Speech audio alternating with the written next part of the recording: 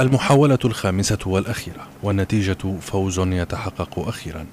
السباحة الأمريكية ديانا ناياد البالغة من العمر 64 عاما تتحدى أسماك القرش والتيارات البحرية عبر السباحة بين كوبا وفلوريدا في الولايات المتحدة دون قفص لحمايتها.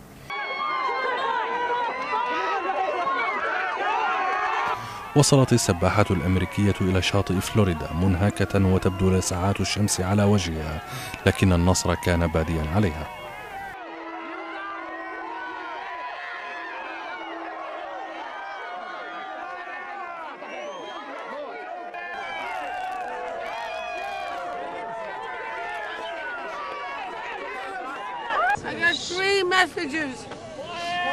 لدي ثلاث رسائل.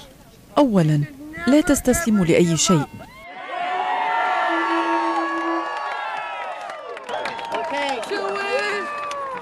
ثانيا لا تعتقدوا أن السن يحول دون تحقيق أحلامكم.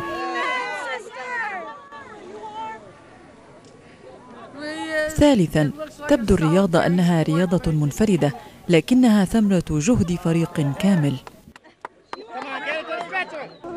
المسافة التي قطعتها السباحة الأمريكية بين هافانا وفلوريدا بلغت 166 كيلومترا.